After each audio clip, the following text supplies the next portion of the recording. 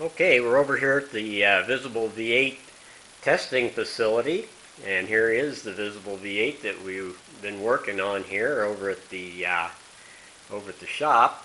So we're going to go ahead and mount that on the uh, test stand here, and uh, there's a pan here, and the pan is connected to um, the sump over here uh, with tubing silicon tubing. This is a dry this is a dry sump system, so the pan just acts as a collector.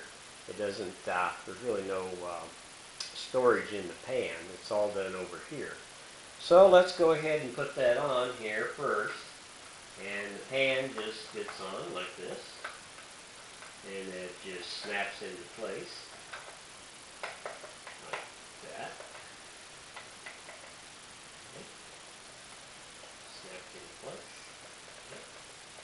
Now we're going to put it down here. We have to we have to align. We have to put the uh, drive shaft here into the flexible coupling. So we'll put that in here. Line that up. Put that in. That. And then we're going to just drop it down into here. Into the stand like that. Okay.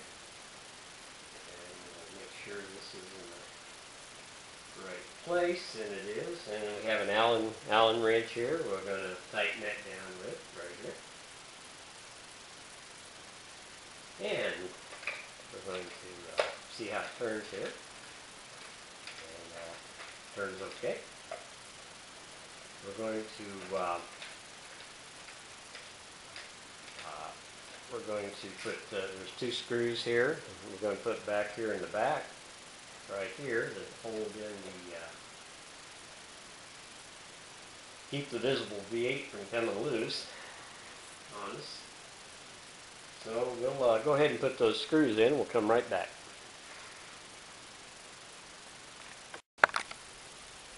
Okay, uh, while it's on the test, now since it's mounted to the test stand, we're going to take off the uh, valve covers and I have uh, some uh, lubricant here and the lubricant we're going to use today in today's test is uh, glycerin. And this is what I've been using here lately. I've used all different kinds of lubrication but glycerin seems to work pretty good. So that's what we're using today. And we're going to uh, lubricate the uh, push rods and the uh, rocker arms here, uh, the valve stems, make sure that uh, we got enough lubrication on the valve stems. These uh, lubricate a little later. It takes a while for the lubrication to get up there even though it's pressure fed. So we're going to do that to this side and we'll do it to the other side as well. Well, everything's checked out. We've connected up the uh, tubing here, the pressure tubing for the lubrication. And now the, the engine is dry, so we're going to have to let the oil pressure come up, and I'm going to turn it by hand until we can get some uh, lubrication uh, pressure build up here. So let's go ahead and turn this on. And you'll should see the uh, lubrication coming uh, down into the pan from the, uh, from the rods and the uh, crankshaft there. And it turns in the counterclockwise position from the rear anyway. Now, when this first starts up, it's going to rattle quite a bit because it's uh, it's kind of dry. The cylinders and the pistons are dry.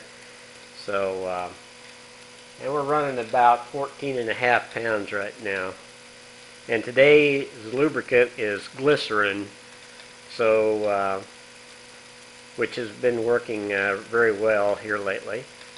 All right, 14 and a half pounds and everything turns all right. And you can, uh, if you can see there in the video, we're getting a little bit of oil flow down there. So let's uh, turn this on. We're going to run it kind of slow here.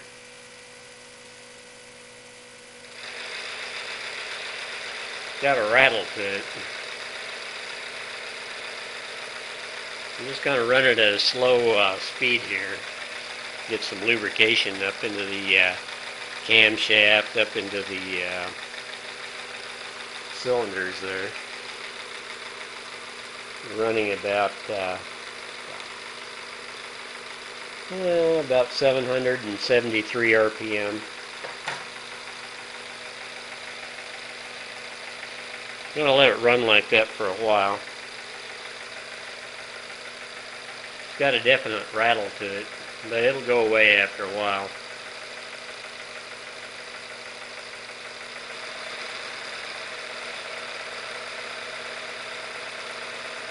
But overall, it's, it's pretty smooth. Okay, we're going to uh, let this run for a while, let it run in before we uh, rev it up. So we'll, uh, we're going to let this run for a while. About, about 14 pounds. It's running at a idle, slow idle right now.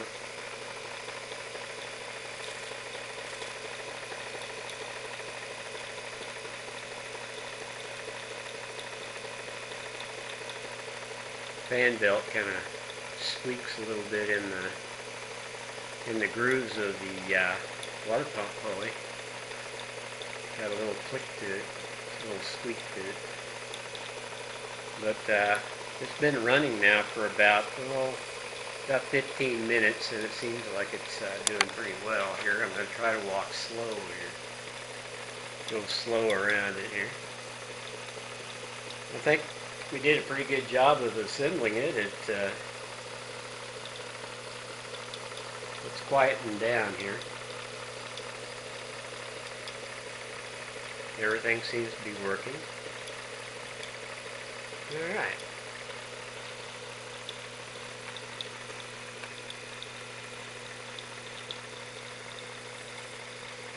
Okay. Well, let's let's see how we did. Now we're only going to run it to. Uh, we're not going to go over 3,500 because I don't I don't run it any faster than that until it's run in for at least an hour. Uh, so let's see how it does here.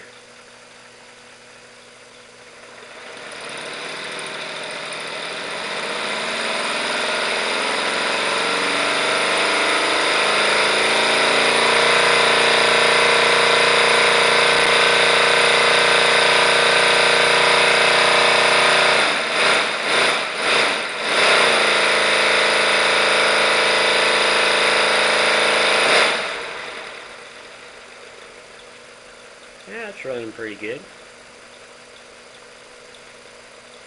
Once the oil heats up, once the oil gets a little uh, warmer, it'll stop leaking around here. Yeah, when the oil is cold, it has a tendency to, uh, when the lubricant is cold, it has a tendency to wrap around, ah, wrap around the, wrap around the, the crankshaft and come out around the front of the crankshaft.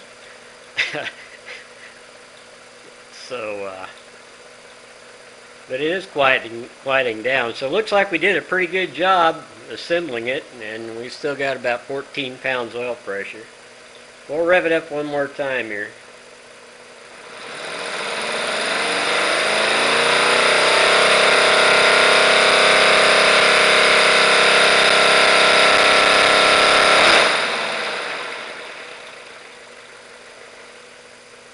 Yeah, doing real good.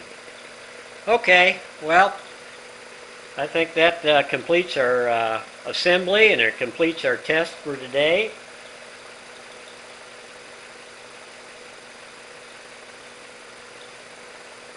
And today is uh, October 9th, 2011.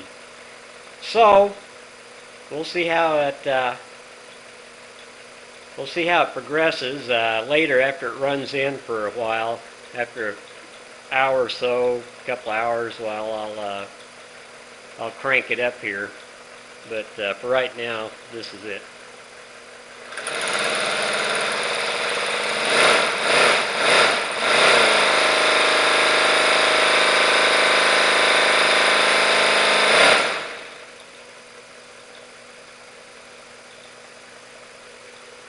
that completes the assembly of the Visible V8 engine.